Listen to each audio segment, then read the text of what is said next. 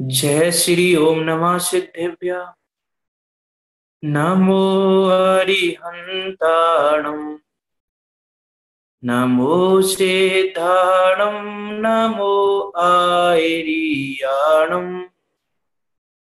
नमो वज्रायाणम् नमो लोहे सविशाकुणम् मङ्गलं भगवान् वीरो मङ्गलं गौतमो गणी। मङ्गलं कुन्दकुन्दार्यो जैन धर्मोऽस्तु मङ्गलम् सर्वमङ्गलमाङ्गल्यं सर्वकल्याणकारकं प्रधानं सर्वधर्माणां जैनं जयतु शासनम् जैनं जयतु शासनम्। ओङ्कारं बिन्दुसंयुक्तं नित्यं ध्यायन्ति योगिना, कामदं मोचिदं चैव ओङ्काराय नमो नमः। मंगल में मंगल करण बीतराग विज्ञान नमोता ही जाते भय।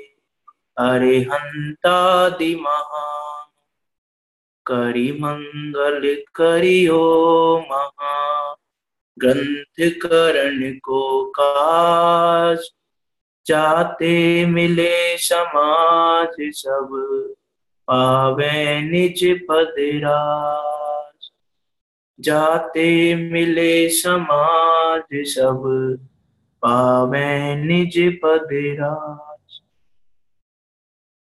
आचार्य कल्प, पंडित टोडर मर्ज़ी द्वारा रचित यह महान कृति मोक्ष मार्ग प्रकाशक जी पर हमारा स्वाध्याय चल रहा है।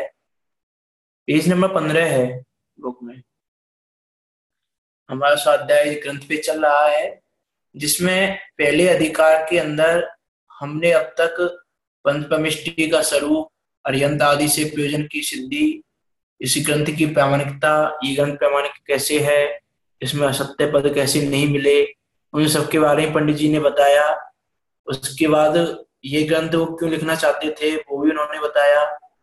फिर उन्होंने बताया कि ये शास्त्र कौन से शास्त्र? पढ़ने सुनने योग्य हैं, जिसमें पढ़ना, सुनना, सुनाना, प्रचार प्रसार करना, प्रकाशन करना, सब हमने लिया था कि कैसे ग्रंथ जो पढ़ने सुनने योग्य हैं, कौन से ग्रंथ जो पढ़ने सुनने योग्य नहीं है, उनके बारे में हमने जाना। उसके बाद पंडित जी बता रहे हैं कि जो ग्रंथ पढ़ने सुनने योग्य हैं, उनके वक्ता कैसे होने चाहिए?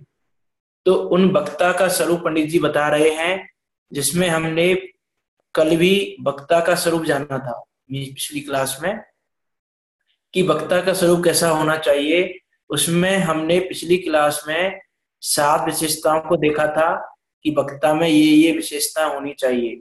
ये ये क्वालिटी वक्ता में होना ज़रूरी है। तो ही वक्ता बना विशेष रूप से शोभा पाता है। तो उसमें हम एक बार रिपीट कर लेते हैं जल्दी में। तो सबसे पहले विशेषता हमने देखी थी कि वो जैन श्रद्धा में दृढ़ हो। उसकी जैन धर्म में उसकी श्रद्धा दृढ़ होनी चाहिए, क्योंकि यदि ऐसा नहीं होगा तो वौरों को श्रद्धा नहीं कर पाएगा। उसके बाद दूसरा हमने देखा था कि विद्या अभ्यास उसने भली भांति किया हुआ हो, जिससे शास्त्रों को पढ़ने की, सुनने की, सुनाने की उसकी बुद्धि प्रकट हुई हो। और तीसरा हमने देखा था कि वो सम्य ज्ञान का धारी हो, जिसके कारण नए आदि जो व्यवहार निश्चय आदि रूप कथन है, उस कथन का अभिप्राय वो पहचान सके कि कौन सा कथन किस अभिप्राय से कहा जा रहा है। क्योंकि तभी वो उसी प्रयोजन के अकॉर्डिंग बता सकता है श्रोता को। उसके बाद हमने चौथी विशेषता देखी थी कि जिनज्ञा भंग करने का उसको बहुत भय हो। उसके बाद हमने पांचवी विशेषता देखी थी कि उसको शास्त्र पढ़कर आजीविका आदि कोई भी किसी भी तरह का लौकिक कार्य साधने की उसकी इच्छा ना हो। ऐसा वो होना चाहिए, क्योंकि आशावान होगा तो उपदेश जो है वो यथार्थ नहीं दे पाएगा। वो श्रोताओं के अभिप्राय के अनुसार उपदेश देगा। इसीलिए लौकिक कार्य साधने की उसकी इच्छा नहीं होनी चाहिए। उसके बाद हमने देखा कि वह तीव्र क्रोधिमानी नहीं होना चाहिए। है ना? तीव्र क्रोधिमानी नहीं होना चाहिए। और उसके बाद हमने देखा था कि वो वक्ता ऐसा होना चाहिए कि वो श्रोताओं से प्रश्न पूछने से पहले ही पहले ही प्रश्न करे और उसका उत्तर दे दे। नाना प्रकार के प्रश्न उठाकर उसका उत्तर दे। पंडित जी ने ऐसा लिखा है कि नाना प्रश्न उठाकर सेम ही उत्तर दे। सेम ही प्रश्न उठाए और सेम ही उत्तर दे। और ऐसा नहीं हो तो जो जी प्रश्न पूछे उनका मिष्ट वचनों के द्वारा उसका समाधान करे और जिस तरह से समाधान हो सके, उस तरह से करे। जितनी बार वो पूछे, उतनी बार उसका समाधान करे। ऐसा नहीं एक दो बार पूछने के बाद क्रोध क्रोध आ जाए कि बार बार क्यों पूछ रहे हो? ऐसा कुछ भी नहीं होना चाहिए। वक्तापना उसी को शोभित दे, शोभा देता है। तो हमने यहाँ तक कर लिया था शायद इतना ही हो पाया था। जिनमत की प्रेरणा तभी हो पाएगी जब वो उत्तर इसी तरह से दे। नहीं तो फिर श्रोता उससे डरेंगे शंका नहीं करेंगे ऐसी बात आएगी। उसके बाद आगे देखते हैं आगे पंडित जी और क्या लगते हैं? कि वक्ता पने में और क्या क्वालिटी होनी चाहिए? ये साफ़ क्वालिटी तो होनी ही चाहिए, इसके अलावा और क्या क्वालिटी होनी चाहिए? तो देखो नीचे नीचे का पैराग्राफ है। पुनः पुनच्चय वक्ता कैसा होना चाहिए कि जिसके अनीति रूप लोक निंद कार्यों की प्रवृत्ति ना हो? कि जो लोक में अनिति के कार्य हैं, जितने भी कार्य अनिति के हैं पाप रूप कार्य हैं, जिससे लोक में भी निंदा होती है, कि उस कार्य को कोई भी करे तो निंदा ही होती है। जो भी निंदा योग्य कार्य है वो सारे कार्य लगा लेना है। चाहे वो सप्तव्यसन रूप हो चाहे वो आ, चोरी आदि के चोरी आदि करके व्यापार आदि से है या झूठ बोल के व्यापार आदि करना है जितने भी कार्य हैं जिससे कि यदि कोई लोग में उस काम को सुने तो वो निंदा करे कि ये काम ये व्यक्ति गलत करता है। ऐसा जो भी लोक निंद कार्य है जो भी अनिति रूप है जो नीति रूप नहीं है जो योग्य नहीं है ऐसा जो भी कार्य है, उसकी प्रवृत्ति वक्ता को नहीं होनी चाहिए। क्योंकि यदि वो ऐसा लोक निंद कार्य करेगा तो उसकी लोक में निंदा होगी। तो वो उसका वचन प्रमाण कौन करेगा? जैसे कि कोई झूठ बोल के व्यापार करता हो तो उसकी बात को कौन बिलीव करेगा उसके ऊपर कि यह सही बोल रहा है? यदि लोक में सबको पता हो कि ये व्यक्ति झूठ बोलता है, या ये व्यक्ति चोरी करता है, या ये व्यक्ति सत्वसन रूप पाप में प्रवृत्ति है इसकी तो कोई इस विश्वास कैसे करेगा कि ये सही बोल रहा है?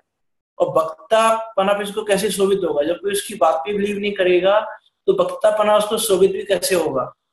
तो इसीलिए वक्ता ऐसा होना चाहिए कि उसके अनिति रूप, लोक, निंद, कार्य की प्रवृत्ति ना हो। किसी भी तरह के कार्य में वो संलग्न ना हो। क्यों? क्योंकि लोक, निंद कार्यों से वह हास्य का स्थान हो जाए। तब उसका वचन कौन प्रमाण करे? वह जिन धर्म को लजाए। क्योंकि यदि वो लोकनिंग कार्य करेगा तो तो वो हास्य का स्थान होगा। लोग उस पर हंसेंगे कि देखो, जैसा बोलते हैं ना लोग कि देखो, पंडित बना फिरता है और ऐसे कार्य करता है। तो वो भी क्या हास्य का पात्र बन रहा है ना, कि मीस पद तो बड़ा रखा हुआ है उसने और काम कर रहा है वो बहुत छोटे पद वाले। कि छोटे पद वाले वैसे काम करने से डरे, ऐसे कामों को कर रहा है। तो उससे उसकी निंदा ही होगी, वो हास्य का स्थान ही बनेगा। तो इसीलिए वक्ता जो है, उसको ऐसे कार्यों में प्रवृत्ति उसकी नहीं होनी चाहिए। तभी उसके वचन प्रमाण हो, प्रमाणभूत होंगे। क्योंकि वचनों की प्रमाणता से पहले उसकी जीव की प्रमाणता की जाती है। जो वक्ता है, वक्ता की प्रमाणता की जाती है, उसके बाद ही वचन की प्रमाणता की जाती है। ये बात इससे पहले भी कहीं पर आई है कहाँ पर आई है अरियंत आदि से प्रयोजन की सिद्धि में आई है। कि अरियंत भगवान के वचनों की प्रमाणता से पहले अरियंत भगवान की भी प्रमाणता की है वहाँ पे। तो तभी उनके वचन प्रमाण किए हैं। तो ऐसा ही वचन की प्रमाणता वक्ता से ही होती है। पहले वक्ता की प्रमाणता होनी चाहिए कि वक्ता प्रमाणिक है। ये वक्ता हाँ ये वक्ता में ऐसी क्वालिटी है तो ही उसके वचन प्रमाणभूत हो सकते हैं।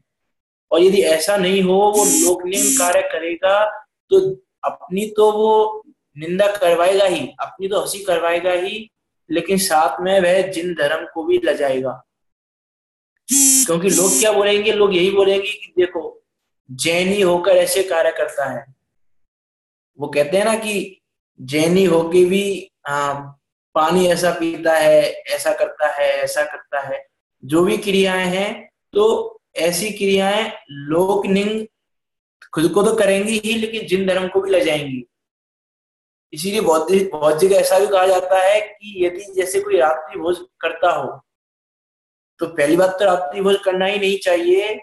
यदि किसी की किसी के बस में नहीं है कि नहीं मुझ पे नहीं रहा जाता या मेरे आ, मेरा सिस्टम नहीं बैठता तो उससे ये बोला जाता है कि हाँ तू घर में कर ले जो करना है तो लेकिन बाहर मत कर। क्यों? क्योंकि उससे जिन धर्म की भी निंदा होती है, जिन धर्म भी उससे, उसकी भी निंदा होती है कि देखो, जैनी होकर ऐसे कार्य करता है। ये मीन्स है ना तो उसी तरह से वक्ता पहना यदि ऐसा होगा कि वो भी यदि लोग निंद कार्य करेगा तो उसकी भी निंदा होगी, उसकी भी हँसी उड़ेगी और जैन धर्म की भी हँसी उड़ेगी। तो इसीलिए ऐसे को वक्ता पना बिल्कुल भी शोभित नहीं होता। ऐसा तो वक्ता होना ही नहीं चाहिए। पुनश्चय वक्ता कैसा होना चाहिए? और पंडित जी बता रहे हैं कि वक्ता कैसा होना चाहिए कि जिसका कुल हीन ना हो अंग हीन ना हो स्वर भंग ना हो, मिष्ट वचन हो, प्रभुत्व हो, जिससे लोक में मान्य हो। क्योंकि यदि ऐसा ना हो तो उसे वक्ता पने की मेहनता सोवे नहीं, ऐसा वक्ता हो। देखो क्या कह रहे हैं पंडित जी, जिसका कुल हीन ना हो क्योंकि यदि कुलहीन होगा तो लोग उसके वचनों को प्रमाण नहीं करेंगे, क्योंकि जिसका कुलहीन है, उसके कार्य भी हीन होंगे। क्योंकि यदि किसी का कुल बहुत हीन है, वैसे तो व्यक्ति की पहचान कुल के अकॉर्डिंग नहीं करना चाहिए क्योंकि हो सकता है किसी का कुल हीन हो और उसके कार्य उच्च हो। लेकिन यदि किसी का कुल हीन है तो उसको वक्तापना शोभित नहीं देता है, क्योंकि उसके वचनों की प्रमाणता लोक में नहीं होती है। ऐसे उसका कोई अंगहीन हो उसका स्वर भंग हो। यदि स्वर भंग हो तो वक्तापना विशेष शोभापने को प्राप्त नहीं होगा क्योंकि स्वर भंग होगा तो वो जब बोलेगा तो हो सकता है कि कोई आ, बोलना वो कुछ चाह रहा है और बोल कुछ और रहा है। स्वर भंग होगा स्वर भंग होगा तो। तो स्वर भंग ना हो मिष्ट वचन हो। उसके जो वचन है, वो क्रोध रूप ना हो मान रूप ना हो माया रूप ना हो, एक मिष्ट वचन हो कि श्रोता भी उससे पूछने में डरे नहीं, श्रोता भी कोई शंका रखने में डरे नहीं। उसके वचन भी मिष्ट होने चाहिए। जब वो बोल रहा है, तब भी मिष्ट होने चाहिए। किसी ने शंका पूछी, किसी ने शंका की तो उसका समाधान भी मिष्ट वचन रूप से ही होना चाहिए। प्रभुत्व हो, जिससे लोक में मान्य हो। तो सबसे बड़ी बात कि लोक में मान्य हो, कि लोक में उसके वचनों की प्रमाणता हो, कि मीज उसके वचनों पे विश्वास तो हो यदि विश्वास ही नहीं होगा तो फिर श्रोता उसकी बात को कैसे मानेंगे? तो लोक में उसके वचनों की मान्यता भी हो। क्योंकि यदि ऐसा नहीं होगा तो वक्ता पने की मेहनता सोपती नहीं। इसीलिए ऐसा वक्ता तो होना ही चाहिए, वक्ता में ये गुण तो अवश्य ही होने चाहिए। ये नेक्स्ट पेज करना। आचार्य गुणवद्र ने भी गुणवद्राचार्य ने भी आत्मानुशासन में कहा है कि जो बुद्धिमान हो, जिसने समस्त शास्त्रों का रहस्य प्राप्त किया हो, लोक मर्यादा जिसके प्रकट हुई हो, आशा जिसके अस्त हो गई हो, कांतिमान हो उपसमी हो, प्रश्न करने से पहले ही जिसने उत्तर देखा हो भावलता से प्रश्नों को सहने वाला हो, प्रभु हो पर की तथा पर के द्वारा अपनी निंदा रहित पने से पर के मन को हरने वाला हो, गुण निधान हो, स्पष्ट मिष्ट जिसके वचन हो, ऐसा सभा का नायक धर्म कथा कहे। देखो, आत्मानुशासन में गुणवत्ताचार्य ने कितना सुंदर कितने गुणों को बताया है कि जो बुद्धिमान हो मीन्स जिसने अनेक शास्त्र अभ्यास के द्वारा उसकी बुद्धि शास्त्रों को पढ़ने योग्य प्रकट हुई हो, इतना तो बुद्धिमान हो, इतना तो वो विवेकी हो, उसने ग्रंथों का अभ्यास किया हो। जैसे पंडित जी ने ऊपर लिखा था ना कि विद्या अभ्यास करने से जिसकी बुद्धि शास्त्रों को पढ़ने की प्रकट हुई हो। तो भैया लिखा है कि जो बुद्धिमान हो, जिसने समस्त शास्त्रों का रहस्य प्राप्त किया हो, जिसने बहुत शास्त्र अभ्यास किया हो और शास्त्रों का रहस्य प्राप्त किया हो कि किस शास्त्र में क्या विषय वस्तु है, किस शास्त्र में किसने क्या बताया है। जैसे समय सार आदि है प्रवचन सार है प्रशास्त्री का है तो समय सार की विषय वस्तु क्या है प्रवचन सार की विषय वस्तु क्या है, उसमें क्या रहस्य बताया है समय सार में क्या बताया है नियम सार जी में क्या बताया है पंचशास्त्रिकाय जी में क्या बताया है सूत्र जी में क्या बताया है तो उसने समस्त शास्त्रों का अध्ययन किया हो, उनका रहस्य उसको प्रकट हो कि किस शास्त्र का क्या रहस्य है, किस शास्त्र में क्या स्वरूप बताया है, वो उसको पता हो। लोक मर्यादा जिसके प्रकट हुई हो, कि लोक में मर्यादा जिसके प्रकट हुई हो, मीस लोक में जो अनिति रूप कार्य है, वो वह नहीं करता हो। लोक में उसकी मर्यादा हो कि हाँ लोक में कोई उसकी निंदा करने वाला ना हो कि हाँ ये लोक निंद कार्य नहीं करता है। इसके जो कार्य है वो नीति पूर्वक है। अनिति पूर्वक ये कार्य नहीं करता है। तो ऐसी लोक की एक मर्यादा उसकी प्रकट हुई हो, आशा जिसके अस्त हो गई हो, कि जिसके किसी भी तरह से लौकिक प्रयोजन को साधने आदि की कोई आशा ना हो। क्योंकि आशा यदि होगी तो श्रोताओं के प्रयोजन के अनुसार ही उपदेश देगा। इसीलिए आशा जिसके अस्त हो गई हो, कांतिमान हो उपसमी हो प्रश्न करने से पहले ही जिसने उत्तर देखा हो। क्योंकि समस्त शास्त्रों का जिसने रहस्य प्राप्त कर लिया हो, वो प्रश्न करने से पहले ही उत्तर उसने देखा है कि किसी ने प्रश्न किया तो उसका उत्तर वो दे सके। भावलता से प्रश्नों को सहने वाला हो, कि बहुत सारी शंकाएँ आए तो भी उनको सहने वाला हो। ऐसा नहीं कि क्रोधी हो जाए कि इतनी शंकाएँ आ रही हैं, ये हो रहा है तो मतलब क्रोध रूप ना हो जाए उनको सहने वाला हो, कि शंकाएँ आ रही हैं तो उनका मिष्ट प्रश्नों के द्वारा समाधान करे। तो ऐसी शंकाओं को, प्रश्नों को बाहुल्यता से सहने वाला हो, प्रभु हो, उसका प्रभुत्व हो। प्रभुत्व हो मीन्स उसकी लोक में, उसके बच्चों की कुछ प्रमाणता भी हो।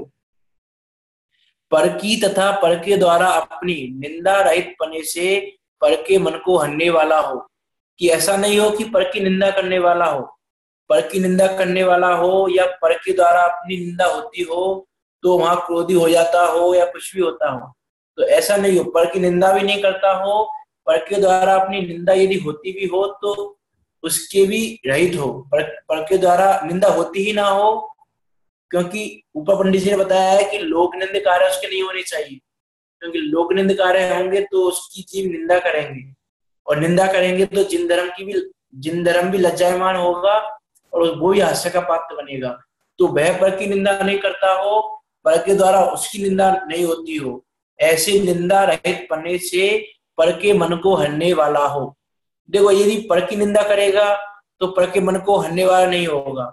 और पर के द्वारा अपनी निंदा होगी तो भी पर के मन को हरने वाला नहीं होगा।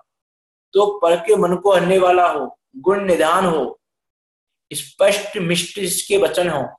उसके जो वचन है, वो स्पष्ट रूप से होने चाहिए और मिष्ट होने चाहिए। जब वो बोल रहा है तब भी, तब शंका आ रही है तो उसका समाधान भी मिष्ट वचनों से ही करे। क्रोधी होके ना करे, गुस्से में ना करे, कि कोई बार बार शंका पूछ रहा है, मैं इतनी बार बता दिया समझ में नहीं आ रहा है। ऐसा नहीं। पंडित जी ने को बताया ना कि जितनी बार भी कोई शंका पूछे तो भी जिस तरह से उसका समाधान हो सके, उस तरह से उसका समाधान करे। जिस तरह के जितने एग्ज़ाम्पल देने पड़े, उतने एग्ज़ाम्पल दे। लेकिन जो शंका है, उसका समाधान करे। तो ऐसे उसके स्पष्ट, मिष्ट वचन हो। ऐसा जो सभा का नायक है, वही धर्म कथा कहे, वही वक्ता पने को शोभित होता है। ऐसा गुणवद्राचार्य ने आत्मानुशासन में कहा है। देखो, पुनः, पुनश्च। तो पंडित जी ने इतने लक्षण बताने के बाद बोल रहे हैं कि वक्ता का विशेष लक्षण और कैसा होना चाहिए? विशेष लक्षण। पुनः बच्चा वक्ता का विशेष लक्षण ऐसा है कि यदि उसके व्याकरण न्याय आदि तथा बड़े बड़े जैन शास्त्रों का विशेष ज्ञान हो तो विशेष रूप से उसको वक्ता बना शोभित होता है। जिसको व्याकरण आदि का, न्याय आदि ग्रंथों का और जैन धर्म, जैन शास्त्र के जो बड़े बड़े जैन शास्त्र हैं, उनका जिसको विशेष ज्ञान हो उसमें बड़े बड़े ग्रंथों में सभी लेना, जैसे समय सार जी हैं दर्शन सार जी हैं, नियम सार जी हैं, गौमट सार आदि हैं, लब्धि सार आदि हैं, ऐसे सभी बड़े बड़े ग्रंथ हैं जो तो ऐसे सठ खंडागम है, ऐसे जो बड़े बड़े ग्रंथ हैं, इनका विशेष ज्ञान हो तो उसको विशेष रूप से विशेष वक्ता बना शोभित होता है। पुनच्च ऐसा भी हो, देखो पंडित जी और क्या कह रहे हैं? पुनच्च ऐसा भी हो, परंतु अध्यात्म रस द्वारा यथार्थ अपने स्वरूप का अनुभव, जिसको ना हुआ हो, वह जिन धर्म का मर्म नहीं जानता, पद्धति ही से बकता होता है। देखो, जिसको ऐसा भी हो कि बड़े बड़े जैन शास्त्रों का ज्ञान हो, लेकिन उसने अपने स्वरूप का अनुभव उसको ना हुआ हो अध्यात्म रस में उसने डुबकी ना लगाई हो अब तक। उसने जैन शास्त्रों का ज्ञान किया हो, लेकिन अपने स्वरूप का उसको अनुभव नहीं हुआ हो जो अपना वास्तव में जो स्वरूप है, उसका वो उसके ख्याल में ना आया हो भेद ज्ञान उसको जीव अजीव का भेद ज्ञान उसको ना हुआ हो तो वह जिन धर्म का मर्म नहीं जानता। कि वास्तव में तो जिन धर्म का मर्म वही जानता है, जिसने भेद ज्ञान कर लिया हो। जिसने भेद ज्ञान नहीं किया, वास्तव में जिन धर्म का मर्म ही नहीं जानता। इसीलिए कहते हैं कि जैन धर्म का प्रारंभ सम्यक दर्शन से ही होता है। कि वास्तव में जिन धर्म का मर्म वही जानता है। जिसने जिन धर्म का मर्म जान लिया, वही वही अपने स्वरूप का अनुभव कर सकता है। क्योंकि देखो, वास्तव में जिसने स्वरूप का अनुभव नहीं किया, उसने वास्तव में अरियंत को भी नहीं जाना, उसने वास्तव में जिन धर्म को भी नहीं जाना। जैसे प्रसन्न शाह जी की अस्सीवीं गाथा में आता है कि जो द्रव्य गुण पर्याय से अरियंत को जानता है, वही अपने को जानता है। उसी का मोह शीघ्र विलय को प्राप्त होता है। तो वास्तव में जो अपने को जान ले, वो जिन धर्म को भी जान लेगा, अरियंत भगवान को भी जान लेगा। वास्तव में अरियंत भगवान को भी अच्छे से नहीं जानते। क्योंकि अरियंत भगवान को भी यदि हम जान लें अच्छे से तो हमें भी अपने स्वरूप का अनुभव हो जाए। हमें भी वेद ज्ञान हो जाए। तो वास्तव में हमने अरियंत भगवान को भी नहीं जाना। अरिंद भगवान को भी नहीं जाना और जिन धर्म को भी वास्तव में हमने नहीं जाना, कि वास्तव में जिन धर्म का मर्म क्या है, वह भी हमने यथार्थ रूप से नहीं जाना। क्योंकि यथार्थ रूप से जाना होता तो अपना जो यथार्थ स्वरूप है, वो भी ख्याल में आ गया होता। जो हमारी मिथ्या मान्यता है, वो दूर हो गई होती। यदि हमें जिन धर्म का मर्म भी यथार्थ रूप से आ जाता। तो इसलिए पंडित जी कह रहे हैं कि जो बड़े बड़े जैन शास्त्रों का विशेष ज्ञान भी हो लेकिन अपने स्वरूप का अनुभव उसको ना हुआ हो, वह जिन धर्म का मर्म नहीं जानता, पद्धति ही से बकता होता है। क्योंकि वो पद्धति ही से बकता है, वास्तव में उसको बक्तापना शोभित नहीं नहीं होता। ये पंडित जी ने बताया ना बक्तापना किसको शोभित होता है? जिसकी जैन धर्म में श्रद्धा दृढ़ हो, मीस यथार्थ रूप से उसने जैन धर्म को जान लिया हो समय ज्ञान का धारी हो। पंडित जी ने वो बताया ना, वो सारी चीज़ें देखें तो यह पद्धति ही से वक्ता होता है। जिसने अपने स्वरूप का अनुभव नहीं किया है, उसने जिन धर्म का मर्म नहीं जाना है, वो पद्धति ही से वक्ता है। अध्यात्म रस में सच्चे जिन धर्म का स्वरूप उसके द्वारा कैसे प्रकट किया जाए, क्योंकि जिसने स्वयं ने ही जिन धर्म का मर्म नहीं जाना है, तत्वों का स्वरूप जिसने नहीं जाना है, वो स्वरूप प्रकट भी कैसे करेगा? क्योंकि जो जो चीज़ उसने खुद ने नहीं जानी, वो उसको बताएगा भी कैसे? उसको प्रकट भी कैसा करेगा? तो वास्तव में उस, वो प्रकट भी नहीं कर पाएगा, इसीलिए वास्तव में सच्चा वक्तापना उसको शोभा भी नहीं देगा। सच्चा वक्तापना उसके नहीं होता। देखो, श्री पंडित जी लिख रहे हैं कि अध्यात्म रस में सच्चे जिन धर्म का स्वरूप उसके द्वारा कैसे प्रकट किया जाए? क्योंकि उसने जाना ही नहीं है। इसीलिए आत्मज्ञानी हो तो सच्चा वक्तापना होता है। यदि वो आत्मज्ञानी हो सम्य दर्शन का धारी हो तो ही उसको सच्चा वक्तापना शोभा देता है। क्योंकि प्रवचन सार में ऐसा कहा है कि आगम ज्ञान तत्वा श्रद्धान संयम, भाव, ये तीनों आत्मज्ञान से शून्य कार्यकारी नहीं है। देखो, क्या कह रहे हैं पंडित जी? कि प्रवचन सार में आचार्य कुंद कुंद ने ऐसा कहा है कि यदि आत्मज्ञान नहीं है तो आगम ज्ञान तत्वा श्रद्धान और संयम भाव, ये तीनों ही कार्यकारी नहीं है। यदि आत्मज्ञान है तो आगम ज्ञान भी सार्थक है तत्वा श्रद्धान भी सार्थक है, और जो संयम भाव है, वो भी सार्थक है। और बिना आत्मज्ञान के ना संयम भाव सार्थक है, ना आगम का ज्ञान सार्थक है। क्योंकि यदि आत्मज्ञान ही नहीं किया तो फिर क्या किया? तो फिर मीनिंग नहीं है उसका। आत्मज्ञान ही ज्ञान है। शेष सभी अज्ञान। विश्व शांति का मूल है बीतराग विज्ञान। तो वास्तव में तो आत्मज्ञान ही ज्ञान है। उसके अलावा जो भी ज्ञान है, वो अज्ञान है। इसीलिए तो देखो, किसी को ग्यारह अंक का ज्ञान भी है और आत्मज्ञान नहीं है। तो वो ग्यारह अंक का ज्ञान भी कैसा है? उसका मिथ्या ज्ञान है। मीस अज्ञान रूप है। और किसी को आत्मज्ञान हो गया तो किसी को नवोकामत भी अच्छे से नहीं आता हो तो भी उसका जो ज्ञान है, वो ज्ञान जितना भी है, वो भी सम्यक नाम पाता है। क्यों पाता है सम्यक नाम? क्योंकि आत्मज्ञान है तो ज्ञान है। आत्मज्ञान नहीं है तो चाहे ग्यारह अंक का ज्ञान है तो भी वो अज्ञान है। ऐसी आत्मज्ञान की महिमा है। ऐसी समय समय दर्शन की महिमा है तो वास्तव में तो समय समय दर्शन की जो महिमा है वो यही है।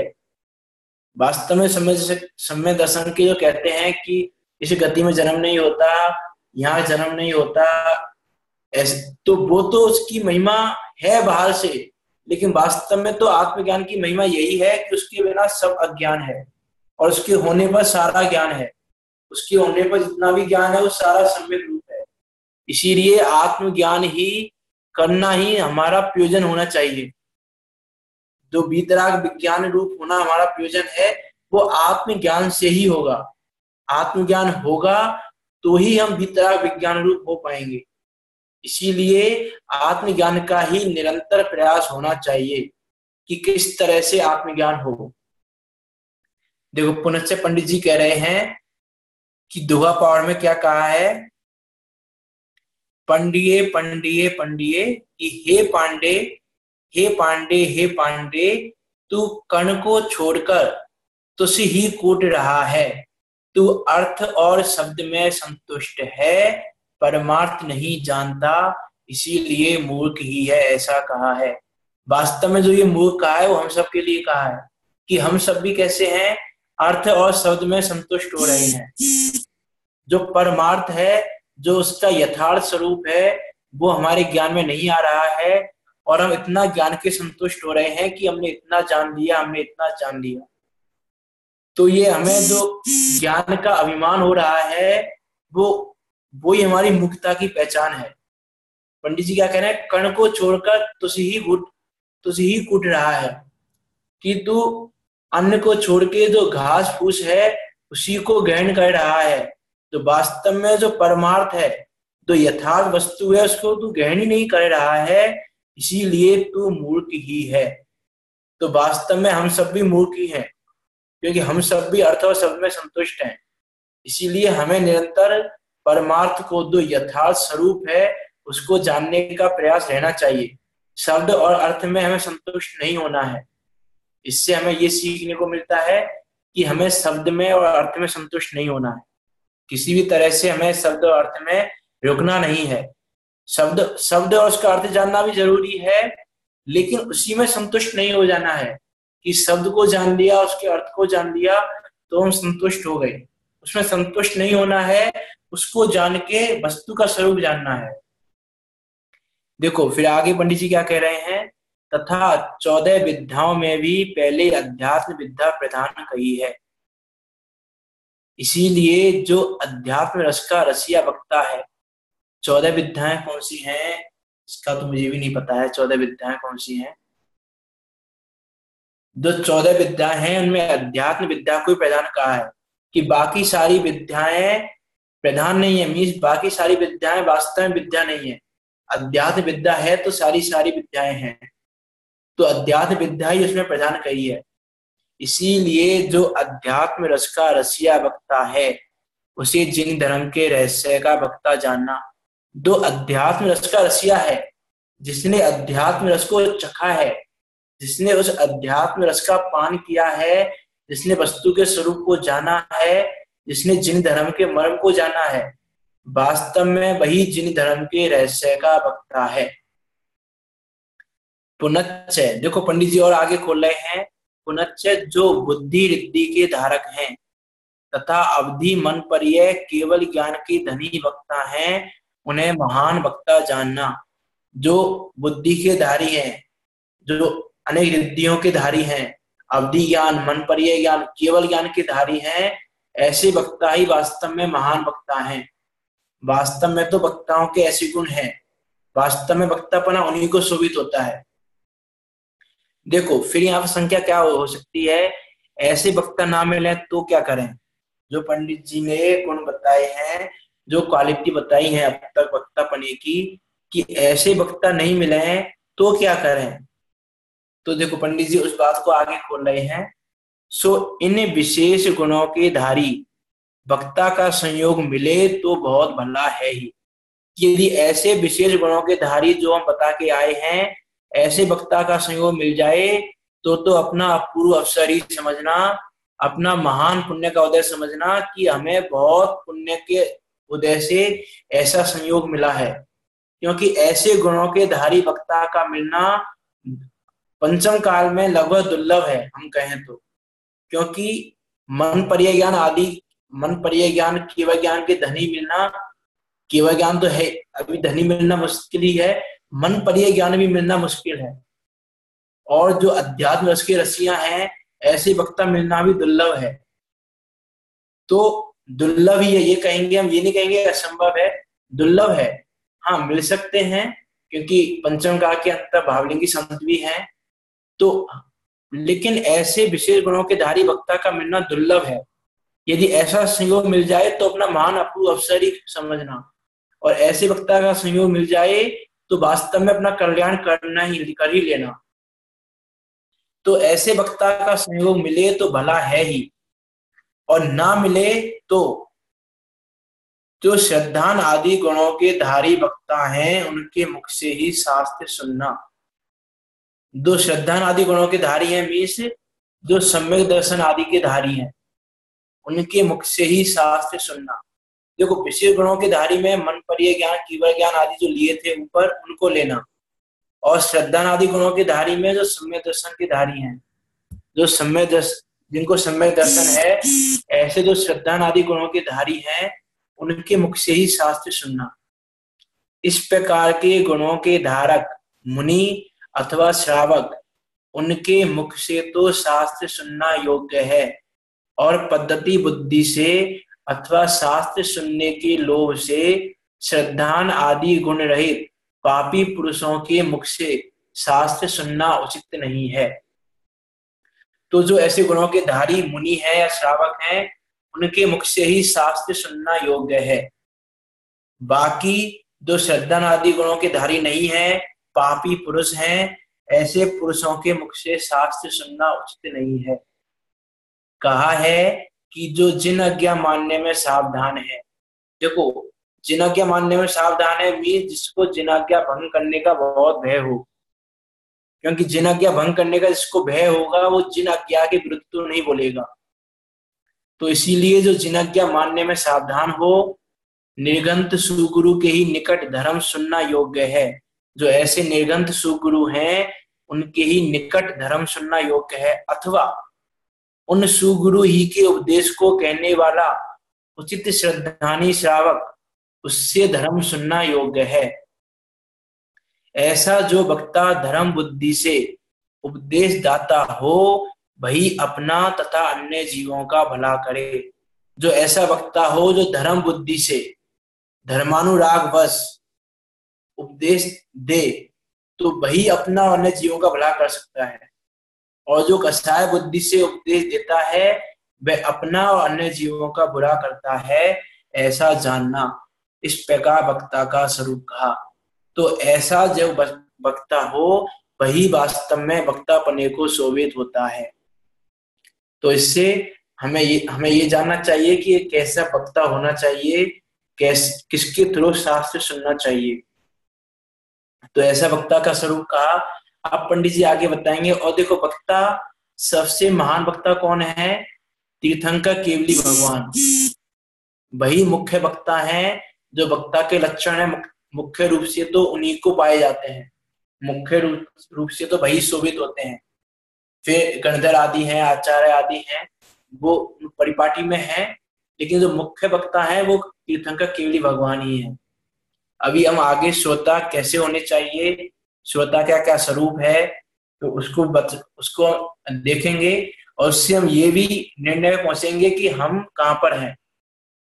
जो हम ये वक्ता का स्वरूप हमने सुना श्रोता का स्वरूप हम अभी आगे देखेंगे तो हम श्रोता के स्वरूप में भी कहाँ पर हैं कहाँ पे नहीं है तो वो सारी चीज़ें हम देखेंगे। क्योंकि ग्रंथ पढ़ने का मीनिंग ये है कि हम उसको अपने ऊपर लगाएँ अपने ऊपर अप्लाई तो करें कि हम कहाँ पर हैं। हम उसके अकॉर्डिंग कहाँ पे लाई करते हैं, कहाँ पर हमको होना चाहिए, हमारा प्रयोजन क्या है, और उसके अकॉर्डिंग हमें कहाँ पर होना चाहिए, उसके अकॉर्डिंग क्या कर सकते हैं तो और क्या करना योग्य है। वो सारी चीज़ें हमें चिंतन में लेनी चाहिए, ग्रंथ को पढ़ के। तो श्रोता का स्वरूप हम कल देखेंगे। अभी यहाँ तक किसी को कोई शंका हो तो पूछ लें। कोई शंका नहीं है? जिन्होंने स्थिति करते हैं। हे जिन बाणी भारती तो जपो दिन रैन जो तेरी शरणा गहे, सो पावे सुख चैन। जा वाणी के ज्ञान से सुजय लो कालो सो वाणी मस्तक नमो, सदा देते हूँ रो। वाणी मस्तक नमो सदा देते हूँ पंच पंचपमिष्टि के स्मरण पूर्वक नवा नवोकार मंत्र।